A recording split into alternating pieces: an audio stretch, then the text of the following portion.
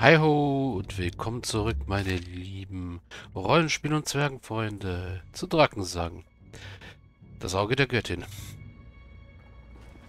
Ja, die Holztür können wir nicht öffnen, jedenfalls nicht auf die Art und Weise. Deswegen müssen wir uns jetzt wohl oder übel auf diese Fexplatten hier stellen. Also da ist ein Fuchssymbol drauf, also muss es was mit Fex zu tun haben. Wir sind ja immer noch immer noch in dem tollen Gangsystem unterwegs. Aufgepasst!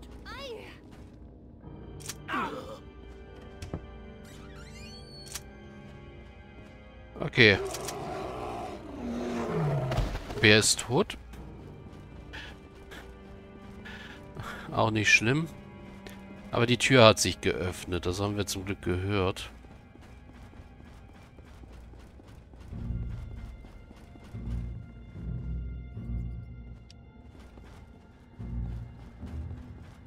Eine Holzwand. Und noch eine Wand. Hier da ist niemand versteckt.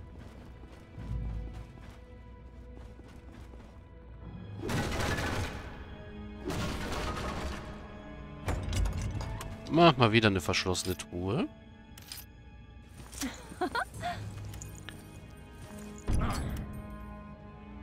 Mir ist das Fallen entschärfen misslungen. Dafür ist das Schlösser öffnen gelungen. Mach ich. Amulett ist fix. Taschendiebstahl, Schleichen, Schlösser knacken, Fallen entschärfen plus 4. Hm, ja.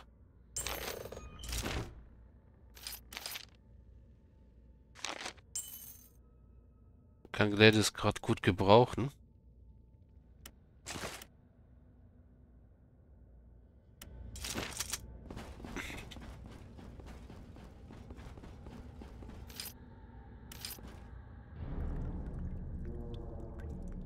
Äh, wir wurden gerade teleportiert. Ja, wir wurden gerade teleportiert. Hm.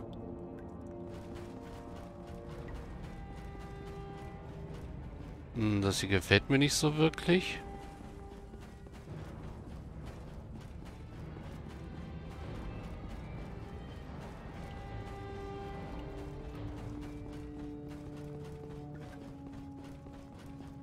Alles ein bisschen fexisch. Ah, Guano und Frenja. Hm.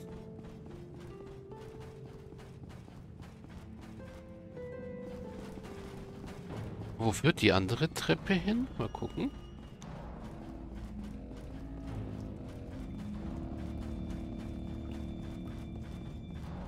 Weil da ist der Aufgang.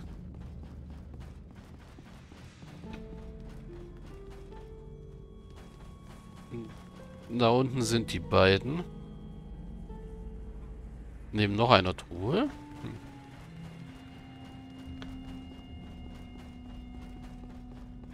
Gut.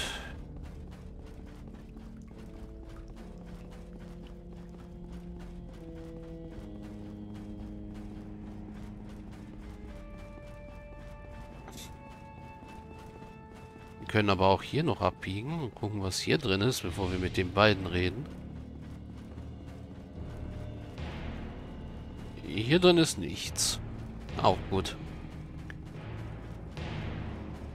Dann auf zu Quano. Und Frenja. Und dann hoffentlich raus hier. Oh, euch hätte ich jetzt nicht erwartet. Wie es aussieht, habt ihr den geheimen Zugang zu unseren Örtlichkeiten gefunden und alle Hindernisse auf dem Weg hierher überwunden. Immer die ganzen Fallen und Rätsel, die waren kein Problem, sonst würde ich wohl nicht vor euch stehen, oder? Aber sagt jetzt alles in Ordnung, Quano? Aber natürlich. Wieso fragt ihr?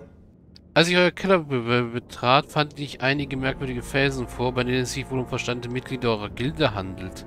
Es hatte den Anschein, dass jemand unbefugt bei euch eingedrungen ist. Ja, ich verstehe. Aber ich kann euch beruhigen. Es ist alles in bester Ordnung. Bei den Versteinerungen handelt es sich um ein äh, Missverständnis. In der Zwischenzeit haben Frenja und ich alles geklärt.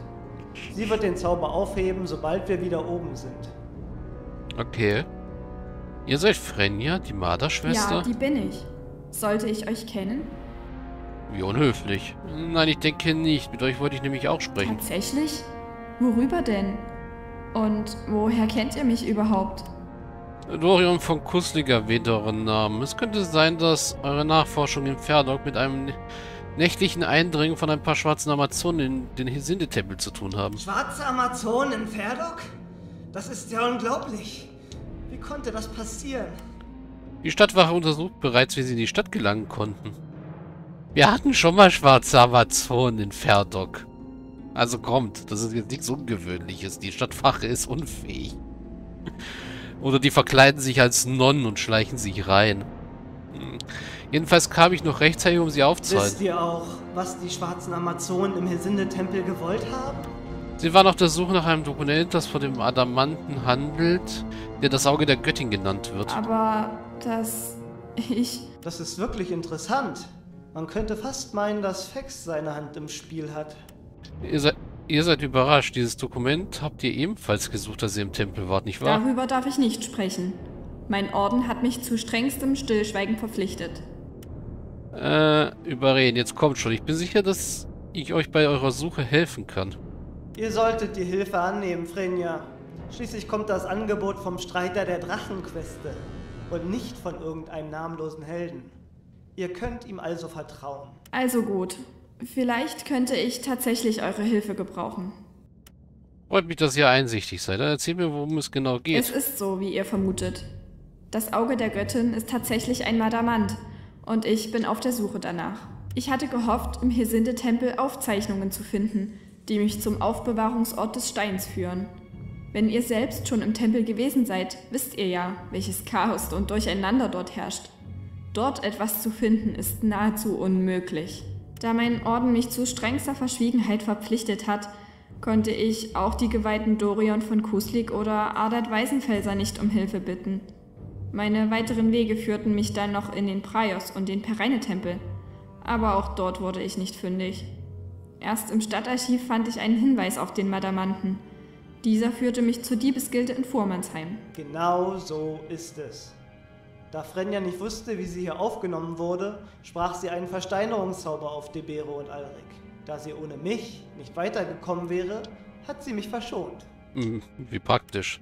Aber was habt ihr jetzt gesucht und habt ihr es gefunden? In der Notiz aus dem Stadtarchiv wurde erwähnt, dass sich im geheimen Fex-Tempel ein Dokument befinden soll, das dem Kundigen verrät, wo das Auge der Göttin versteckt ist. Und ja, wir haben es tatsächlich gefunden. Was gar nicht so einfach war, möchte ich noch anmerken.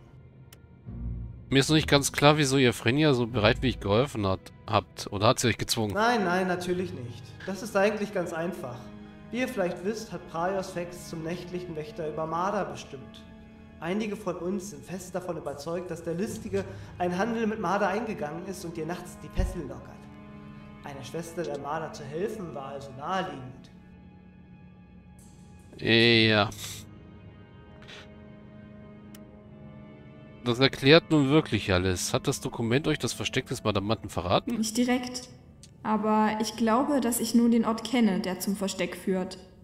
Es war natürlich alles sehr kryptisch formuliert, wie ich es auch nicht anders erwartet hatte. Allerdings scheint es schwierig zu sein, den Ort zu betreten, da wohl ein bestimmter Schlüssel dafür benötigt wird. Wo dieser zu finden ist, verrät das Dokument leider nicht. Ich glaube, da kann ich weiterhelfen. Was sagt ihr da? Das ist wirklich eine Überraschung. So erzählt schon. Bei der Schlüssel handelt es sich vermutlich um eine Statuette. Diese wird benötigt, um das Tor zum Versteck des Mandamanten zu öffnen. Leider ist die Statuette in sieben Teile zerbrochen. Also müssen erst die Teile gefunden und wieder zusammengesetzt werden. Ein Ding der Unmöglichkeit, wenn ihr mich fragt. Die Teile können ja über ganz Aventurien verstreut sein. Ja, ganz so unmöglich, wie es klingt, ist es nicht. Ich habe bereits einige Teile der Statuette finden können. Und ein weiteres Teil soll sich hier in diesem geheimen Gangsystem befinden. Das wird ja immer unglaublicher. Und hier soll sich auch ein Teil befinden? Wie kommt ihr denn auf diesen Gedanken? Maria Rakorium hat mir diesen Hinweis gegeben. Was hat er denn mit dieser Sache zu tun? Er sch es scheint, als ob er auch auf der Suche nach dem Auge der Göttin ist. Also der Erzmagier, die schwarzen Amazonen und ihr, Frenja. Da solltet ihr froh und dankbar sein, Hilfe zu bekommen. Ja, unter diesen Umständen kann ich das vielleicht wirklich sein.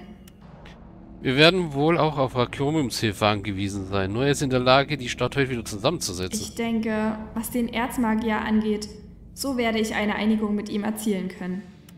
Gut möglich, aber zurück zum fehlenden Teil. Wisst ihr, wo es sich befinden könnte, Quano? Um ehrlich zu sein, nein. Wenn es wirklich hier sein sollte, was ich nicht glaube, kann es überall sein. Im Laufe der Zeit hat sich hier so einiges angesammelt. Wenn es ein Teil einer Statuette ist, müsste es doch leicht als solches erkennbar sein. Was stellt die Statuette eigentlich dar? Laut Rakoriums Untersuchung ist die Statuette exischen Ursprungs und den Teil nach zu urteilen, die ich bisher gefunden habe, handelt es sich vermutlich um einen Echsenmenschen. Da fällt mir ein, Ja? Ja, da war doch dieses merkwürdige Ding in der Truhe, in der wir auch das Dokument gefunden haben. Könnte es sich dabei um eines der Statuettenteile handeln? hm, ich weiß nicht. Möglich wäre es. Sehen wir doch einfach mal nach. Wartet, Quano, lasst mich das besser Was erledigen. ist denn los? Habt ihr Angst, dass ich euch das Teil nicht gebe? Nein, es ist nur so, so, so, dass jedes Mal, wenn ich eins der Teile gefunden habe, etwas passiert ist. Wahrscheinlich wird das auch jetzt wieder der Fall Ah sein. ja, verstehe. Meine aktive Zeit als Abenteurer liegt schon einige Zeit zurück. Da lasse ich euch gerne den Vortritt. Die Truhe steht hier links von mir. Gut, wartet hier so lange. ja. Geschlossen wurde jetzt... Äh, ist wahrscheinlich das Tempeldokument. Suche Frenja auf. Ich habe Frenja im geheimen Fex-Tempel bei Quano gefunden. Auch sie ist auf der Suche nach dem Auge der Göttin. Um den Madamanten zu finden, werden wir allerdings die Hilfe von Erzmagier... Erzmagier Rakorium brauchen. Mhm. Es hat sich alles aufgeklärt. Ich habe Koan und Fenja gefunden. Sie hat die beiden Diebe versteinert, da sie die, in der Diebesgewehr ein bestimmtes Dokument gesucht hat und nicht wusste, ob man ihr helfen würde. Mhm. Ja. Such den Tempel erneut auf. Das kann nochmal spaßig werden. Okay, die Truhe ist diesmal offen. Was passiert denn hier Schönes? Wahrscheinlich dieses Mal einfach nichts.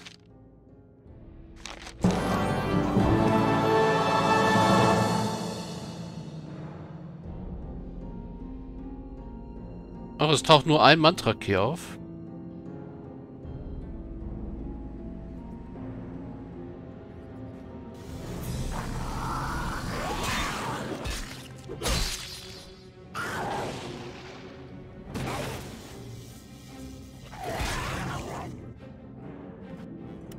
Wer hat eigentlich jetzt ein Level-Up gekriegt? Klang jedenfalls so danach, als ob jemand ein Level-Up gekriegt hat. Ah.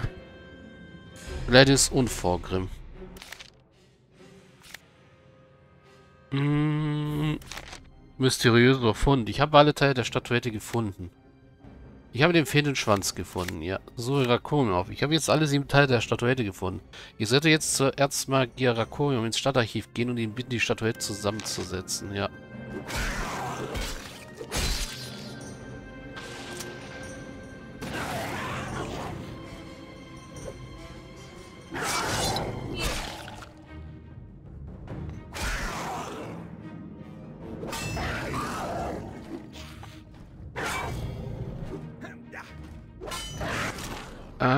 ich glaube, ich werde mal ein bisschen...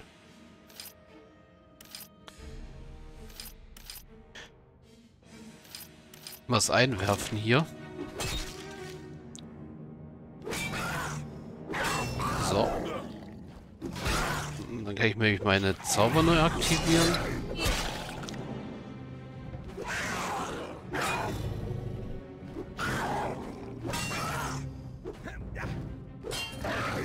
Äh, nicht meine Zauber, meine Skills. Ich bin ja kein Magier.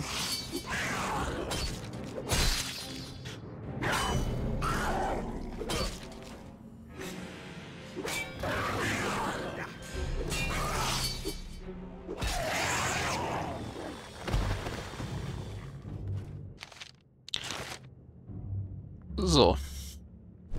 Was war das denn?